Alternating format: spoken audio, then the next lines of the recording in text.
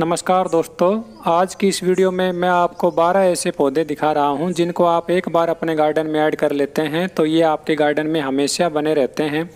कई सालों तक ये पौधे आपके गार्डन में बने रहेंगे। इनको बार बार लगाने की आवश्यकता नहीं पड़ेगी। पहले नंबर पर है ये मैरीगोल्ड। मैरीगोल्ड का पौधा लगाना बहुत ही आसान होता है। एक बार जब हम ये पौधा लगा लेते हैं तो इसके बीज अपने आप ही उगते रहते हैं, और ये हमारे गार्डन में एक परमानेंट प्लांट बन जाता है। गर्मी का मौसम हो चाहे सर्दी हो, दोनों ही मौसम में इसमें फ्लोरिंग भी होती है और इसकी ग्रोथ भी होती रहती है। अब बरसात के मौसम में यदि आपको इस पौधे की कटिंग मिल जाती है तो आप इसको लगा लीजिए। इसकी कटिंग आसानी से ग्रो हो जाएगी।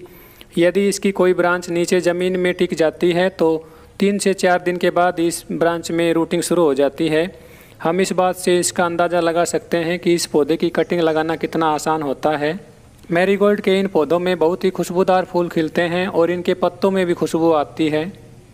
दूसरे नंबर पर है गोमफ्रेना गोमफ्रेना की भी कटिंग लगाई जा सकती है और इसके बीज भी ग्रो कर सकते हैं। ये भी एक ऐसा ही पौधा है। यदि आप इसको एक बार अपने गार्डन में ऐड कर लोगे तो ये पौधा भी आपके गार्डन में हमेशा उगता रहेगा। दो तीन कलर्स में इनके फूल होते हैं और इन पौधों की डवार्फ वैरायटी भी होती है और लॉन्ग वैरायटी भी होती है। दोनों ही वैरायटीज़ में इनमें बहुत ही सुंदर फूल खिलते हैं। एक सीज़न में जब हम इनको लगा लेते हैं तो अगले सीज़न में ये अपने आप ही उग जाते हैं। गोमफ्रेना की ये पौधे बिल्कुल भी केयर नहीं मांगते हैं। एक बार जब आप इनको अपने गार्डन में ऐड कर लोगे तो फिर ये अपने आप ही उगते रहेंगे। आप इन पौधों के बीज भी स्टोर कर सकते हैं। यदि इनके बीज नहीं स्टोर करते हैं तो भी ये बीज नीचे गिरते रहते हैं और अपने आप ही उगते रहते हैं। इन पौधों को डायरेक्ट सनलाइट वाली लोकेशन में लगाया जाता है। इस लिस्ट में तीसरे नंबर पर है अपराजिता। अपराजिता की बेल देखिए, मेरे गार्डन में कितनी फैल गई है। पिछले साल मैंने इसके बीज लगाए थे और इस बेल में देखिए, ब्लू कलर के कितने सुंदर फूल खिलते हैं और अब इस बेल में बहुत सारे फूल लगे हुए हैं। इस बेल को शंख पुष्पी के नाम से जानते हैं और जब इसके फूल पक जाते हैं तो इनमें मटर की जैसी फली बनती है और उनमें बीज बनते हैं। और जब ये बीज सूख जाते हैं तो ये नीचे अपने आप ही गिर जाते हैं और इनके नए नए पौधे तैयार होते रहते हैं। इस प्रकार इस बेल को भी एक बार लगाने के बाद बार बार लगाने की आवश्यकता नहीं पड़ती है। ये अपने आप ही ग्रो होती रहती है। वास्तुशास्त्र के अनुसार इस बेल को घर में लगाना शुभ माना जाता है। इस लिस्ट में नेक्स्ट जो प्लांट है, उसका नाम है एलोवेरा ये देखिए दोस्तों, कितना हेल्दी पौधा है। नीचे ज़मीन में लगाने पर इसके पत्तों का डायमीटर भी बढ़ जाता है और इनके पत्तों की लंबाई भी बढ़ जाती है।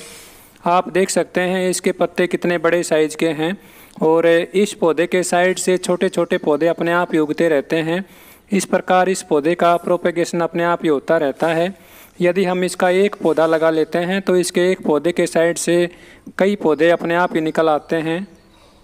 एलोवेरा के पौधे को तो हर घर में लगाया जाता है। यदि आपके पास नीचे ज़मीन में जगह नहीं है तो आप इसको गमले में भी लगा सकते हैं। किसी भी छोटे से छोटे साइज़ के कंटेनर में आप इसको लगा लीजिए। इस पौधे की बहुत ही अच्छी ग्रोथ हो जाएगी। इस पौधे को आप इंडोर आउटडोर कहीं भी रख सकते हैं, और ये एक हार्डी प्लांट होता है। ये देखिए, इस प्रकार इसके छोटे छोटे पौधे अपने आप उगते रहते हैं।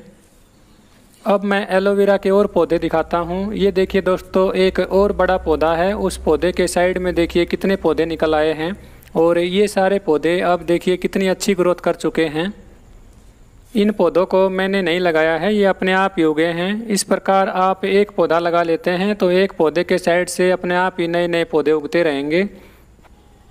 इन पौधों को नर्सरी से लाने की आवश्यकता नहीं होती है। एक बार जब आप इन पौधों को लगा लोगे तो ये अपने आप ही फैलते रहेंगे। इस लिस्ट में नेक्स्ट जो प्लांट है, उसका नाम है वंडरिंग जू। मैं इसकी छोटी सी कटिंग लेके आया था और इस छोटी सी कटिंग को मैंने नीचे लगा दिया था। अब देखिए दोस्तों, ये कितनी फैल गई है। बरसात के सीज़न में तो इसमें बहुत ही अच्छी ग्रोथ हो जाती है और ये बहुत अधिक फैल जाती है। इसकी नई नई ब्रांचेज निकलती रहती हैं। हैंगिंग बास्केट में लगाने के लिए ये एक बेस्ट प्लांट होता है। मेरे पास इसकी छोटी सी कटिंग थी। मैंने इसको नीचे ज़मीन में लगा दिया ताकि इसकी अच्छी ग्रोथ हो सके। अब देखिए दोस्तों, ये कितनी फैल गई है। सिंपल गार्डन सॉइल में और बिना किसी खाद और फर्टिलाइज़र के वंडरिंग जो की बहुत ही अच्छी ग्रोथ हो गई है। आप देखिए दोस्तों, ये कितनी फैल गई है। अब हम इसकी कटिंग काट कर चाहे जितने हैंगिंग बास्केट्स बना सकते हैं। ये भी एक परमानेंट प्लांट है। सर्दी के मौसम में इसके पत्ते सूखने लगते हैं, मगर इसकी अच्छी केयर की जाए तो इस पौधे को बचाया जा सकता है। इस प्रकार ये एक ऐसा पौधा है जो एक बार लगाने पर हमेशा आपके गार्डन में बना रहेगा। इस लिस्ट में नेक्स्ट जो प्लांट है, उसका नाम है स्नेक प्लांट मैंने अपनी पिछली वीडियोज़ में इन पौधों को दिखाया है और ये जो पौधे हैं, इनको मैंने केवल दो पौधों से तैयार किया है। एक गार्डन से मैं दो पौधे लेके आया था और देखिए दोस्तों दो पौधों से इनके कितने पौधे बन गए हैं? इन पौधों को यदि मिट्टी में लगा लिया जाता है तो इनके मेन पौधे के साइड से नए नए बेबी प्लांट्स निकलते रहते हैं। इस प्रकार स्नेक प्लांट्स का मल्टीप्लिकेशन होता रहता है। एक बार जब इन पौधों को अपने गार्डन में लगा लिया जाता है तो ये कभी भी नहीं मरते हैं। ये बहुत ही हार्डी प्लांट्स होते हैं। गर्मी, सर्दी इंडोर आउटडोर कहीं भी आप इनको रखिए, ये अच्छी ग्रोथ करते रहते हैं। ये पौधे केवल ओवर वाटरिंग की वजह से सूखते हैं, इसलिए आप इन पौधों को अपने गार्डन में ज़रूर ऐड कीजिए।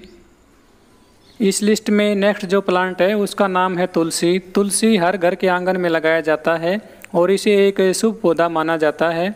ये देखिए दोस्तों, बरसात के सीज़न में इस पौधे की अच्छी ग्रोथ हो जाती है और इसके छोटे छोटे पौधे अपने आप उगते रहते हैं। मेरे गार्डन में भी इनके छोटे छोटे पौधे उगे हुए हैं। ये देखिए मैं आपको दिखाता हूँ। ये सभी पौधे हेल्दी पौधे हैं और यदि इनकी अच्छी केयर की जाए तो ये एक बड़े पौधे का रूप ले लेंगे।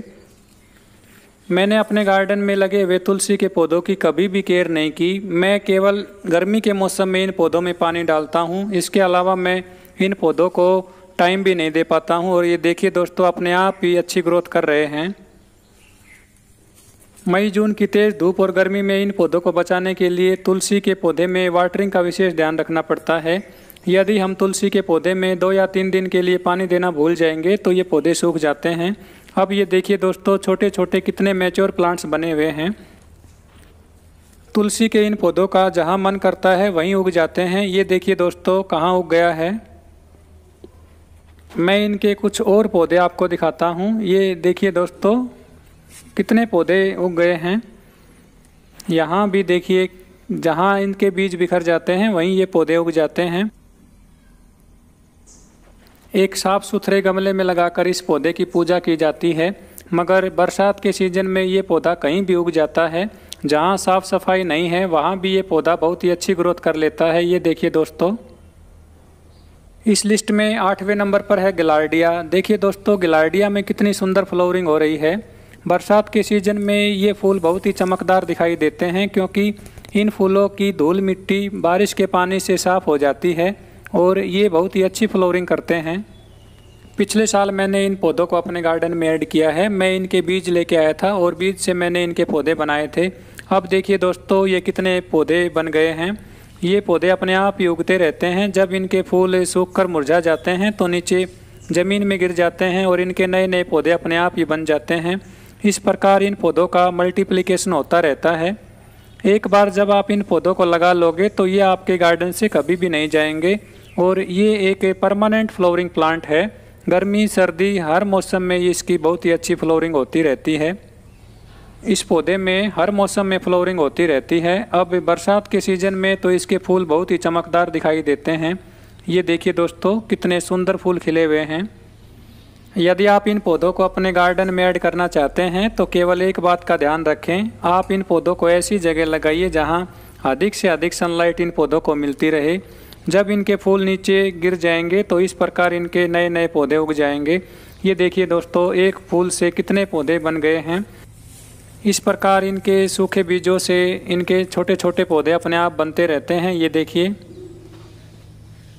इस लिस्ट में नेक्स्ट जो प्लांट है, उसका नाम है अगेव। अगेव भी एक ऐसा ही पौधा होता है। एक बार जब हम इसको लगा लेते हैं तो इसके भी छोटे छोटे बेबी प्लांट्स एलोवेरा की तरह साइड से निकलते रहते हैं। इस प्रकार एक पौधे से इसके भी बहुत सारे पौधे बन जाते हैं। अगेव के पौधों की हाइट तीन से चार फीट तक बढ़ जाती है और इनका डायमीटर भी तीन से चार फीट तक हो जाता है। इसलिए आप इन पौधों को दूर दूर लगाएँ। मैंने इनके छोटे छोटे पौधे लगा दिए थे। अब मैं इनको दूर दूर लगाने वाला हूँ। यदि इस पौधे को गमले में लगाया जाए तो ये पौधा बहुत ही सुंदर दिखाई देता है। ये पौधा एक कमल के फूल की तरह दिखाई देता है। इसलिए इस पौधे को कमल कैक्टस के नाम से भी जाना जाता है। आगेव के प्लांट को कैक्टस इसलिए बोला जाता है क्योंकि ये एक हार्डी प्लांट होता है। इसको जितना कम पानी दिया जाए, उतनी इसकी अच्छी ग्रोथ होती है। और रेगिस्तान वाले इलाकों में इस पौधे की बहुत ही अच्छी ग्रोथ होती है। एक बार इस पौधे को अपने गार्डन में ऐड कर लीजिए, उसके बाद इसके अपने आप ही नए नए पौधे बनते रहेंगे। इस लिस्ट में नेक्स्ट जो प्लांट है, उसका नाम है कड़ी पत्ता कड़ी पत्ते का पौधा हर घर में लगाया जाता है, क्योंकि इसके पत्ते खाए जाते हैं। एक बार जब हम ये पौधा लगा लेते हैं तो ये पौधा हमारे गार्डन में परमानेंट बन जाता है। और जब ये पौधा बड़ा हो जाता है तो इसके बीज बनने शुरू हो जाते हैं। जब इसके बीज पक जाते हैं तो नीचे गिरकर इनके नए नए पौधे बनते रहते हैं। इस प्रकार एक ही पौधे से बहुत सारे पौधे भी बन जाते हैं। यदि आप इसके छोटे छोटे पौधे नहीं उगा पाते हैं तो आप इस पौधे की अब बरसात के सीज़न में कटिंग भी लगा सकते हैं। इस पौधे की भी अधिक देखभाल नहीं करनी पड़ती। इस पौधे के लिए केवल एक बात का ही ध्यान रखना होता है यदि आप इस पौधे को अपने गार्डन में ऐड करना चाहते हैं तो आप इसको ऐसी जगह लगाइए जहाँ अधिक से अधिक सनलाइट इस पौधे को मिलती रहे। जितनी अधिक सनलाइट इस पौधे को मिलेगी, उतनी इसकी अच्छी ग्रोथ होगी। इस लिस्ट में नेक्स्ट जो प्लांट है, उसका नाम है सफ़ेद आग। सफ़ेद आग का पौधा भी एक शुभ पौधा माना जाता है, जिसे हर घर में लगाया जाता है। यदि हम इस पौधे को अपने गार्डन में ऐड कर लेते हैं तो इसके एक पौधे से बहुत सारे पौधे बन जाते हैं, क्योंकि इसके बीज नीचे बिखर कर नए नए पौधे बनाते रहते हैं। ये पौधा भी परमानेंट होता है। बरसात के सीज़न में इसके नए नए पौधे उगते रहते हैं। इस पौधे के नीचे इतने पौधे उग जाते हैं कि हमें इन पौधों को ना चाहते हुए भी उखाड़ना पड़ता है। इस पौधे को नर्सरी से लाने की आवश्यकता नहीं होती है। बरसात के सीज़न में इसके छोटे छोटे पौधे मिल जाते हैं। हमें इन पौधों को लगा लेना है। अब मैं आपको इसके छोटे पौधे दिखाता हूँ। इस पौधे के आसपास छोटे छोटे पौधे उग जाते हैं। मेरे गार्डन में भी कई पौधे उगे हुए हैं। ये देखिए दोस्तों, कितना हेल्दी पौधा उगा हुआ है। इस लिस्ट में जो लास्ट प्लांट है, उसका नाम है ओरिगेनम मेजोराना, जिसको हम मरवा प्लांट के नाम से भी जानते हैं। ये भी एक हर्बल प्लांट होता है। ये देखिए दोस्तों, कितना हेल्दी प्लांट है। मैं इस पौधे की बिल्कुल भी केयर नहीं करता हूँ और ये पौधा गर्मी, सर्दी हर मौसम में बहुत ही अच्छी ग्रोथ करता रहता है। गर्मियों के मौसम में भी इस पौधे में इसी प्रकार नए नए पत्ते निकलते रहते हैं। इस प्रकार आप इन बारह पौधों को अपने गार्डन में ऐड कर लीजिए। एक बार जब आप इन पौधों को ऐड कर लोगे तो इनको बार बार लगाने की आवश्यकता नहीं पड़ेगी। हमेशा ये पौधे आपके गार्डन में बने रहेंगे। यदि आपको इस चैनल की वीडियोज़ अच्छी लगती हैं तो चैनल को लाइक एंड सब्सक्राइब ज़रूर कर लें। वीडियो में लास्ट तक बने रहने के लिए आप सभी दोस्तों का बहुत बहुत धन्यवाद। Thank you